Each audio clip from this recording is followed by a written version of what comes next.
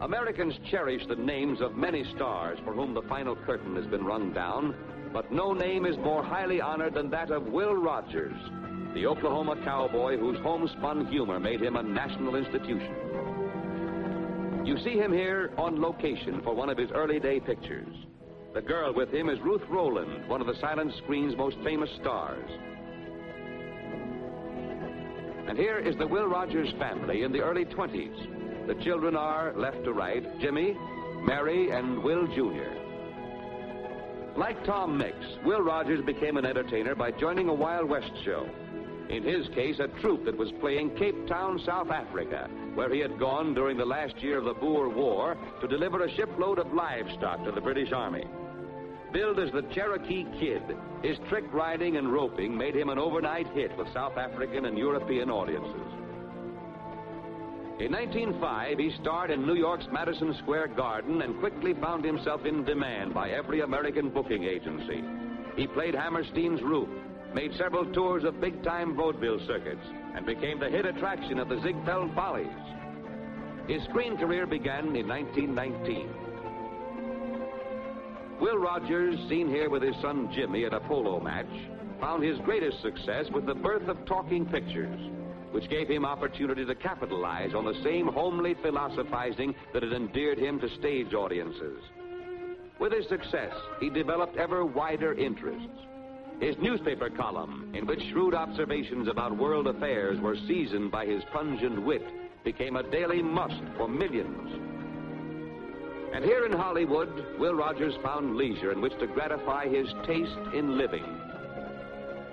One of his chief hobbies was polo. You see him here with some of his teammates, Big Boy Williams, Charles Farrell, and Johnny Mack Brown. Will Rogers, by then a man in his middle 50s, rode as recklessly as the most dashing youngster on the polo field. Clean living and constant exercise had kept his body young. His bubbling sense of humor had preserved his youthful viewpoints.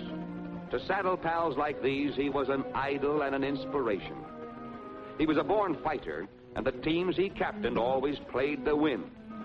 This trophy, presented by Mrs. Frank Borzage, the wife of the famous director, is only one of scores that found a final resting place on the mantel of the Rogers home.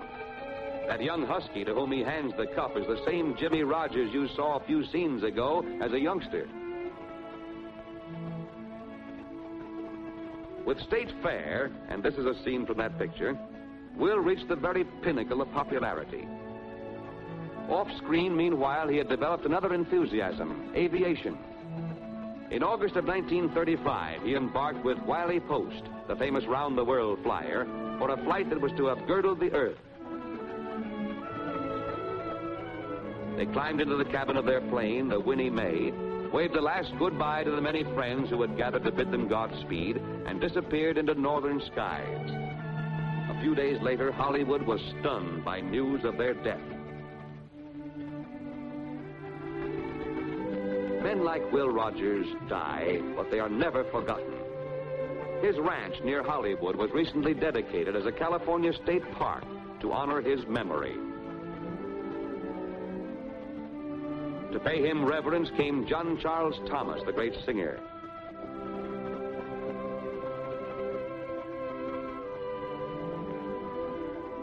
And Leo Carrillo, one of the most devoted of Will Rogers' friends.